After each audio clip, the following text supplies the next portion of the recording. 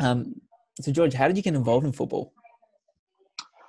Far out. Um, well, I guess when I was born, my dad's first present to me was a football and boots and stuff like that, like at Yeah. my birth. So I think I was, I was, you'd say I was born into it.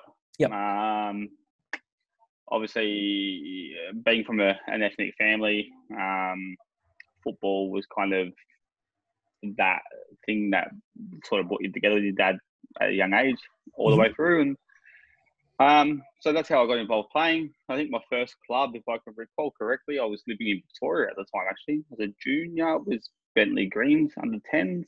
Okay. Um, and then I moved back home to Adelaide, played at West Adelaide, and then um, spent time at other clubs in the NPL, Yep. at Cumberland and stuff like that. And Mhm. Uh, Cumberland actually gave me my first opportunity to coach also. So I was coach, started out coaching another 14 boys side in 2014. Yep. Um, we're lucky to to have a good little side who went on won the league unbeaten. Mhm. Um, then I moved on to Croydon Kings and, and did a bit of a I wouldn't say a technical director role, but it was a sort of a, a junior coordinator role. Yep. Um, with a bit of coaching and stuff involved, and then moved to Melbourne. Um, spent a little bit of time at Heidelberg, Port Melbourne, uh, Yarraville in the state league with the men. Mhm. Went back home. Uh, spent a year at Salisbury United in Adelaide with Yep. the men there. Um, at the halfway point of the year, took over as the head coach, and um, we steered our way out of relegation, which was good. Yeah. From there, back to Melbourne. Spent a little bit of time at South, and then uh, Avondale last year, and then came up to Brisbane. Awesome. So it's been a bit of a, an up and down quick journey. Yeah, quite a journey um, between Melbourne Yeah. and Adelaide across the game. Yeah. And now you're up in Queensland, Yes. Yeah. Um, Sunny Queensland. Sunny Queensland. A I of- you're wearing a hoodie and I'm wearing a t-shirt. exactly. Uh, sums it up right there.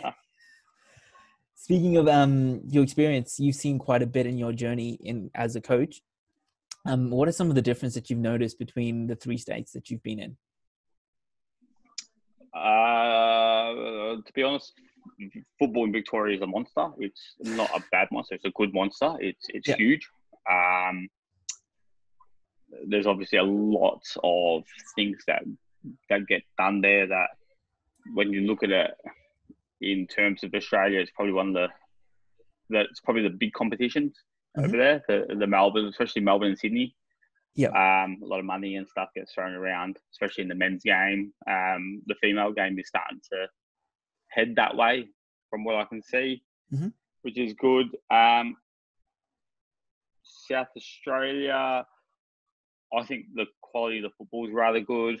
Um, the women's league there is actually probably improving as well, which is good.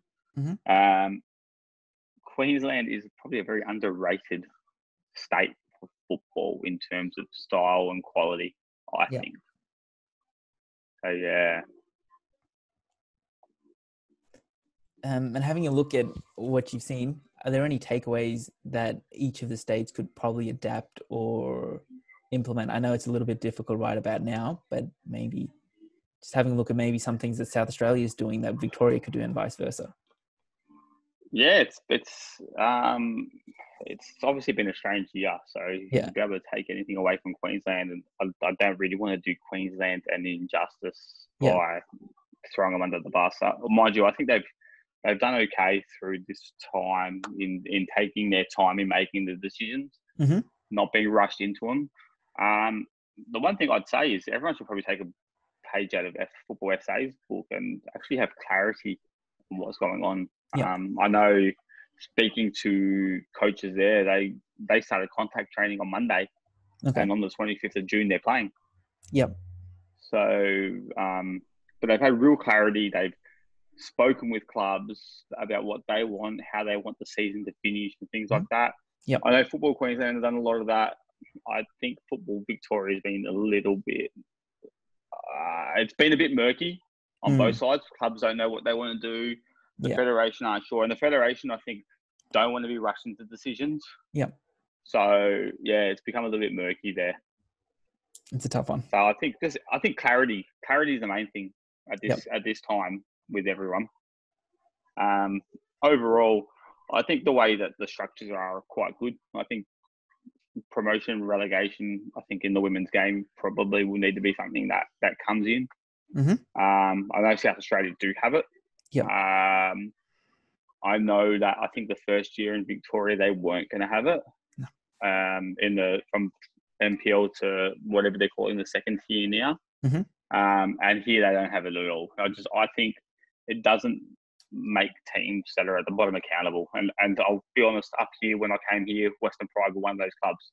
Yep. One of those clubs that weren't moving with the times, and when you don't move with the times, you fall behind, and and then you bring down the standard of a lot of things as well. So whilst we tried to to make changes, um, they weren't they weren't able to happen. So I think promotion and relegation become a really really big thing. Yeah. No, well said there. I think it just keeps everyone on their toes a little bit more. Yeah, definitely. Yeah. Um, thank you for your time. Appreciate you joining No us. No problem. All good.